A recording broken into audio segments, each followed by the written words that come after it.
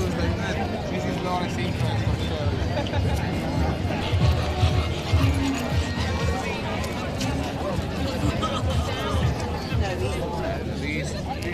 Look at the people taking pictures. Smile. The cameras.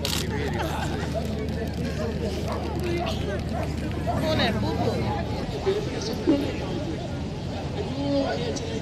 He had it and he was determined to make it happen.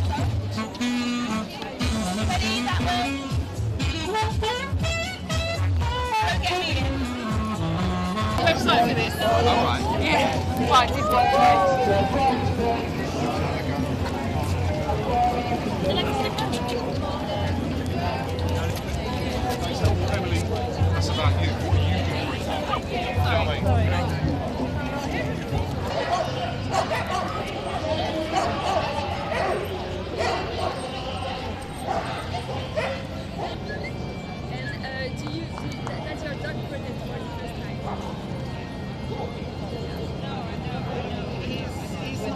I you finally got the sign. No, yeah, Three hours. I know. It was never you put dogs. This side's good.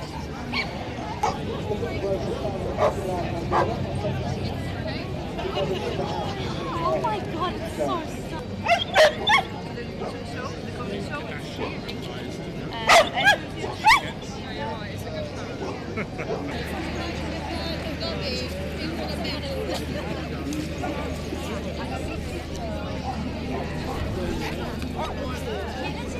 Think, I think somebody likes being on camera. I think that's what it is. But ever since. Thank you so much. That is why this debate is not going away.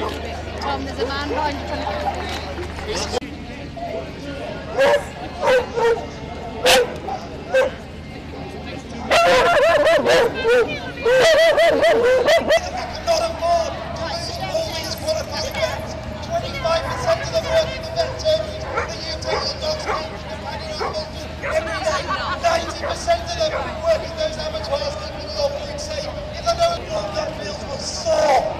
as a result of us being falling out of the single market. You think that's right?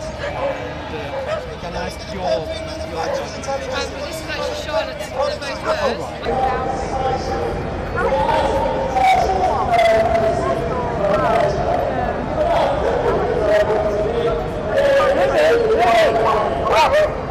words. Today, first and foremost, because I think this is a quintessentially British way of campaigning on something. I love the idea of all these dogs as man's best friend coming and telling man and woman when they think they might be in trouble. But there is a serious message behind this, which is that increasingly the public are looking at Brexit and going, okay, so this is something very different to maybe what was talked about in 2016. And when do we get our say to say, okay, is that what we wanted or do we want something different? And I support that. I support the idea of a people's vote. I don't think if you said to me, go away and negotiate something, you wouldn't want to know what I've negotiated and have some input on that. And I think it's exactly the same now. The British public need to have a say about whether what the government comes back with is good enough, whether they want something different, or whether actually having looked at all the detail, they decide that we're better off staying in the European Union. Well, I think when you start to look at the very serious planning that's now going into the idea that we won't have a deal and stockpiling medicines and turning the M62 into a lorry park and companies already planning to leave, you start realizing that any Brexit has a negative economic and social context.